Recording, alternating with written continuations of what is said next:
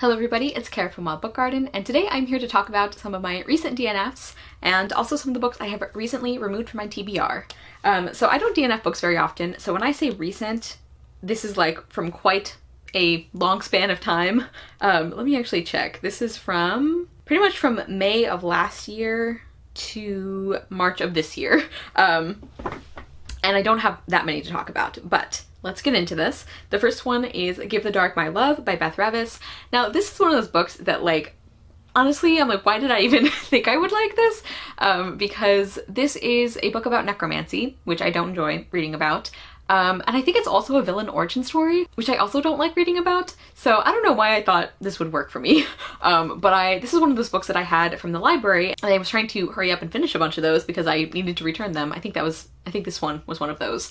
Um, and I had read like the first chapter or two and like it just wasn't, like like I've said many times before, if I DNF, which is rarely, it is almost always the very beginning of a book because I'm like, wait, this is not the kind of book I thought I was going to be reading. Um, like not in the sense of like, oh, I can't enjoy a book that surprises me, but there's like a very specific feeling of like, I don't think I'm reading the book that I thought I was going to be reading. This was one of those. I was just kind of like, I don't know if I want to read this anymore. And then I looked up the synopsis and like reviews and I'm like, wait a second, this has two big things in it that I really don't like. I don't want to read this. And that was that.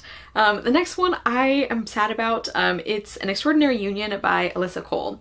Alyssa Cole is a very beloved romance author and I definitely still want to read some stuff from her. Um, I really want to read her historical romance novellas. Those sound really good. This is a full-length novel, um, historical romance, and we're following I'm sorry, I don't have the book with me and I don't remember the characters' names, but our female lead, um, she is a black woman who is undercover in the South. Um, so she's a free woman, but she's undercover as a slave because this is set during the Civil War and she's working on the side of the North of the Union. Um, and then the male lead is a white man who is, um, he's kind of he's similarly he's also undercover he's working on the side of the union um, but he's like pretending to be like a, a confederate soldier and i really liked the female character um, I just didn't care about the male lead very much and he wasn't like terrible. Like I have read some truly awful love interests and he wasn't awful, but I didn't like him and especially compared to the fact that I really did like the male, the female character, just by comparison I was like you can do better like, to the female character. It's like you can do better than him. Um, another thing that I really didn't like is just something I really hate in in romance books where like the the female character is telling him, I'm sorry, I can't use names. I don't remember their names. Um, but the female character is like saying stop to the love interest, to the male lead, and he doesn't. And it's like we know because we're in her head that she is att attracted to him and she's enjoying like making out with him and whatever, but all he's hearing is like, no, I told you. Like, and she has told him several times that she doesn't want to get distracted with this right now, that she needs to focus. And he doesn't take her word for it and it's kind of it's like I don't know if that's supposed to be like a turn on or what.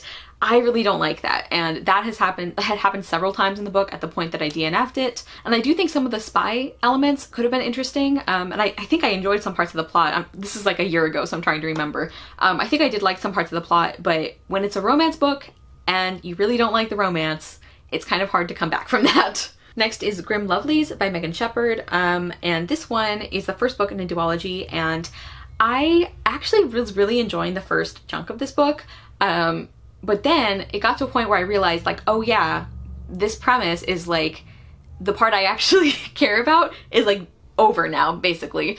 Um, so this is a historical fantasy, and our main character is somebody known as a beastie, which like basically they are animals who are turned into people. Um, and I think, so like at the beginning of the book, you know this from the synopsis, um, their like guardian, I think, is killed. Um, and so now there's like a, a ticking clock basically, and our main character ha has to like go with her friends and try to figure out something to save them because um, without that, then they're going to turn back into animals um, at the end of a certain amount of time because their creator has died. And I actually really liked the setting of the house. I was enjoying getting to know the characters, but like that was the part that I liked.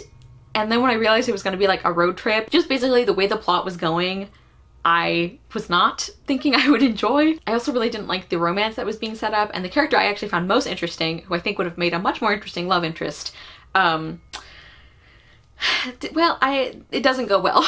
like I looked up reviews for this book and for the sequel because I wanted to spoil myself and then thankfully my friend Julia gave me the rundown so I know what I was not missing. And yeah, I would have been so frustrated if I read this book or even like continued the series and then that's what happened at the end. So yeah, did not did not feel like I wanted to continue that one. Next is The Furies of Calderon by Jim Butcher, and this was actually going to be a buddy read between me and my friend Katie at a Sea of Tomes. We um, did not end up buddy reading this one because I DNF'd it. uh, I don't remember if Katie DNF'd it too, but we did end up reading Small Spaces later, which we both really enjoyed, so that was good. But um, yeah, this is a very well-known fantasy series. It's kind of the one that's like the Roman Legion, but with Pokemon, um, which is an interesting premise. And I just this is another one. Like I read only the first chapter and I'm like, this is not for me. um, like maybe I would come back to it someday, but just like even from the very beginning, the way that the female characters' bodies were described was very, very off-putting to me. And I know that that's kind of a thing in some Jim, Jim Butcher books, and I have heard from people who really love him that like he does get better about that later on, which is good to hear. I'm not saying I would never read something from him. I'm not even saying I would never come back to this book maybe, but I was just really not in the mood for it, and I was just so bored. And I realized that like I don't know if this is from things I've heard about the series or just the impression I get, but this feels like one of those series where it's like, oh yeah, you just gotta push through and then from book four on, it's amazing. And it's like, I don't want to force myself through something that I don't want to read. Um, so yeah, I DNF'd that and I'm like, that's one of the oldest books I think on my TBR, so I'm happy to have made a decision about that one. Next is A World Without Princes by Soman Chainani, and this one I'm sad about because I actually really enjoyed the first book in this series. Um, this is the, the second one. It's like a really interesting take on fantasy and like fairy tale tropes and I really liked the female friendship and I, I really enjoyed some of the characters. Um, I thought the world was interesting and just like as a person who enjoys fairy tales and fairy tale retellings and talking about those like tropes, I just found it a very interesting book and I really liked um, some of the decisions that he made in the first one. And then like he just undoes that in the second book. And this one seems to be very, very polarizing. Like I know that a lot of people really liked what he was saying about gender roles. I know a lot of people really didn't like it. And at the point I DNF'd in the book, I realized I have not been telling you like when I DNF'd these, most of them. I'm sorry about that. I was not as prepared for this video as I thought I was. But I had gotten like a decent chunk in, but I feel like this book was setting up to undo the things that the first book accomplished. And when I read reviews like and when I read some of the negative reviews, um, I really don't like the choices he made and I also like this one character Tedros, I actually enjoyed him in the first book or and I thought he had some some good potential. Um, but the things that he has like said or done in this second book, I'm like, I think it's gonna be really hard for an author to like come back from that, like for him, like to make his character likable to me again. And I also didn't like the way that like this book is setting up as it's supposed to be a commentary on sexism, but the way it's doing it is kind of like reinforcing sexism. Like now it's like a girls versus boys situation and the girls are portrayed as these horrible monsters for like deciding that they don't need a romantic relationship if, with a boy if they don't want one and it's like that's true though um and like they're set up as like really now they're they're like bullying the boys and they're like really mistreating the boys and it's like the the way that too that like their just their appearances are described as like um like well you can tell that they've gone over to the dark side because they've let themselves go. And it's like these are like tween girls. And like why why are we doing this? So yeah. Um I think this could have been an interesting idea and it could have been handled in a good way, but from the impression I got and then based on other reviews I read too, I don't think I'm gonna like the way that he does it in this book, which is disappointing. And then the last and most recent DNF I'm gonna talk about is High Fire by Eoin Colfer. Um, obviously I love the Artemis Fowl books and I knew that there's a chance this book wouldn't work for me and this is actually one that like I stopped reading. This is another library book that I was like, I need to finish this. Um, or like make a decision about it. So I felt like there was a, a, time crunch and I just didn't feel like forcing myself through this book I wasn't liking very much. So like I was saying, I knew there was a chance that I wouldn't get on with this one and it's there are some interesting ideas about the story. It's like there's a, a dragon character who's like very snarky and there's this like teenage boy who like um, this is set in Louisiana, by the way, who like finds a dragon, and I think he ends up like going to work for the dragon or something. It's like a contemporary setting, but there's a little bit of magic in it. Um, and that part was interesting. Like I think that's an interesting idea. I thought some of the writing was clever, but the one of the big things that really turned me off this book is that one of the perspectives that we're following is just like absolutely disgusting to be in their head.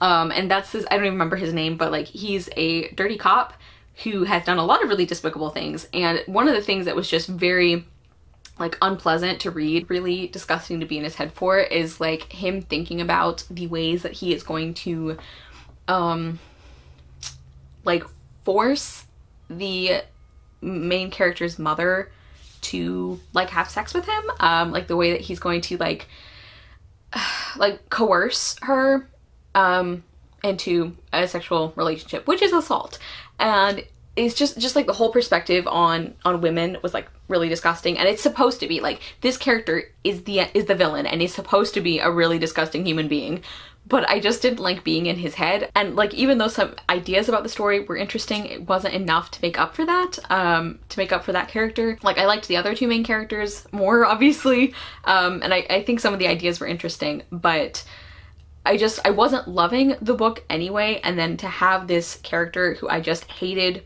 every time we were in their perspective, I was like, I don't feel like reading this. And this was an, initially one that I was thinking I would maybe circle back to at some point, but I've just decided like, I really don't want to. like I actually, I just don't want to read this book. Um, I still love the Artemis Fowl books and I have read other things by Eoin Colfer that I enjoyed. I still definitely want to read other things from him, but this one is just not for me. Uh, so those are the recent DNFs. And when I say recent, I'm pretty much just mean since I did one of these videos last time, because um, I don't DNF very often. But um, now I'm going to talk about some books that I have recently taken off my Goodreads TBR, because um, I think this is kind of an interesting, like, I don't know, I'm talking about DNFs. This might be kind of another piece of the puzzle of like this decision-making process of like how we choose which books we want to read and um, sometimes when that decision changes. So these are in no particular order, and there are various reasons for these, which I will get to, obviously. The first book is Chain of Gold by Cassandra Clare. Um, I still intend to finish the Immortal Devices trilogy. Um, I read the first book and I thought it was fine. I have heard they get better, so I am still going to finish that series. And I had initially, I think, put this book on my TBR because I like historical fantasy and Cassandra Clare's historical fantasy books are the ones that appeal to me the most out of everything she's written. But even if I do end up enjoying the next two books in the Infernal Devices trilogy significantly more, I just don't have any interest in Chain of Gold because, like, I should never put this on my TBR. One of my absolute least favorite tropes is following the kids of the main characters from the other books. I know that's something a lot of people love. I do not at all. and I have no interest in reading that. So that was like a pretty easy decision, honestly, and I should have made it a lot earlier. The next book on this list is actually one in a series I really love, but I will explain why it's on here, um, and that is The Kingdom of Gods by N.K. Jemisin. So I loved The Hundred Thousand Kingdoms. It's one of my favorite books I read in 2020, and I also really liked the sequel, although not quite as much. But this third book, I read like the summary and I looked at reviews and I don't really like the way the plot is going. Like I feel very content with how the first two books wrapped up. And another big thing that I don't like really want to read in this third one is like the main character it's following, because these are companion books. I like them as a side character. I really don't think I would like them as a main character though. Um, and also there are some specific things with like the romantic relationship in, in this third book that I think are icky and just like are weird and I don't want to don't really want to read that. So even though I have really enjoyed what I've read from N.K. Jemisin before, I don't think this the third book is going to be for me. Next is one I'm actually kind of bummed about, and that is These Violent Delights by Chloe Gong. Um, and this is not because I think this is like a bad book or something. Like I know that some people have really enjoyed it. These Violent Delights is set in 1920s Shanghai and it's a retelling of Romeo and Juliet. Um, but the, there are specific reasons that I have decided not to read this one. And the biggest one is that I have found out that there is a ton of like medical gore and medical horror in this book. And that is something I do not want to read, like at all. Um, so that is why this one is no longer on my TBR. So even though I was really excited about this one, I think it sounds like a really interesting idea. I love Shakespeare retellings. Um, and I know that other people have enjoyed this book. I just don't think it's for me. Um, next is Serpent and Dove by Shelby Mahurin. this seems to be a very polarizing book, but I know there are a lot of fans for it. I actually owned the first book. Um, I will be unhauling it though. And I was excited to read this one, but like the thing that kind of pushed me, like I had been thinking for a while, I'm like, I'm not sure this is actually going to be my thing. But the thing that really like pushed me over into like deciding, no, this is definitely not for me is, um, I, I just really think the sense of humor in these books is really not going to jive with mine um like at all. And specifically i heard there's this like one like joke or like meme that was going around that i thought was like a like silly joke that like fans were making about the series.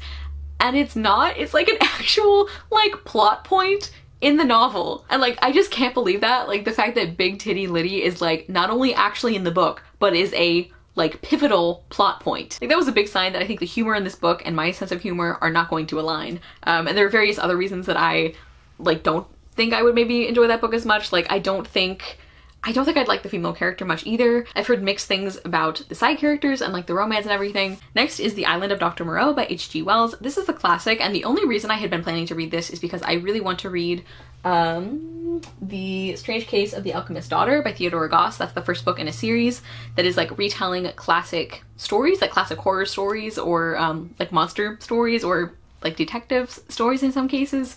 Um, and I really do think I'm gonna like that series. But my friend Kelly from Cozy Reader Kelly read this this story like somewhat recently and just really didn't like it and and like I don't think I would really like it either. I was really only going going to read it for that book series and I think I'm just gonna like read a summary if I need to because um it's like a classic I have never had any interest in, except for I wanted to read a book series that incorporates some of that element, like some of those elements into the book.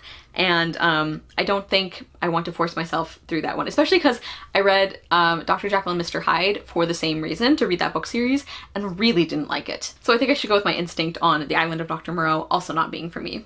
And then next is Vicious by V.E. Schwab. Um, I think my unhaul video has gone up before this, so you will have already heard my whole spiel on this one.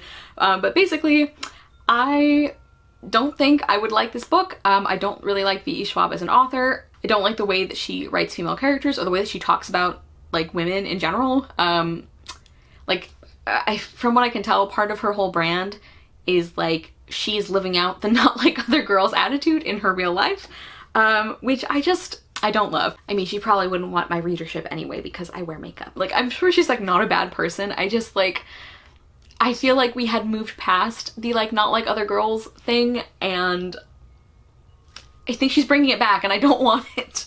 like, there are ways that you can have female characters who feel like they don't have like a support network or like they don't like they're they're struggling to find people who share their interests. Like you can have that. You can write about that and you can make that part of your story without hating on other women for doing things differently than you or for having different interests for you or for like god forbid wearing a dress and not hating it or something. I know i always complain about this so it's probably very repetitive but it just really really bugs me Next is Admission by Julie Buxbaum. This is a contemporary that is inspired by the admission scandal that happened either last year or the year before that um, in like several different universities and I thought this sounded like a really interesting concept, but um, my friend Kelly, who I mentioned earlier, she talked about this book in a wrap up, and it just sounded like really not great. Like there are actually quite a few reviews of this one that are not very positive. Like the characters all sound terrible. Like it sounds like the author really didn't deliver on like the premise or like actually engaging with these conversations and like I just, it just does not sound good. Next is Everybody Shines, which is edited by Cassandra Newbould. And this looks like and is marketed like it's a collection of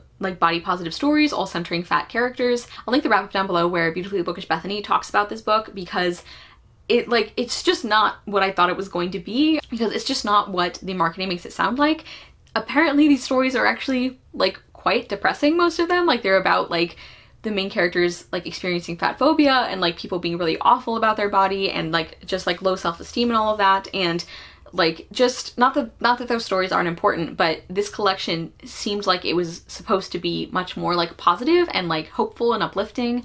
And that's not apparently what actually happened in it. Next is Muse by Brittany Cavallaro. Um, this one, I like the premise sounded interesting. It's like an alternate history and I think it's set at the Chicago World's Fair. I think it might be an alternate history where like yeah, I picked one of those where like America has like a, a royal family, I think. And then um, I heard some reviews that were like not great. I know Amanda from the Curly Reader really didn't like this one. And also like so I read A Study in Charlotte a couple years ago and there were some very specific things about it that I that were that I really really didn't like the way they were handled that I had never heard people talk about in reviews and they were there were specific things where it's like I don't know that I trust Brittany Cavallaro in her other books either. Like I'm sure she's a lovely person and I'm not saying like maybe someday there will be a book premise from her that like really really excites me and I want to give a chance. Also I think A Study in Charlotte was her first book so maybe she's grown past that but I just had a lot of issues with the way that eating disorders it, it, felt like eating disorders were romanticized in that book.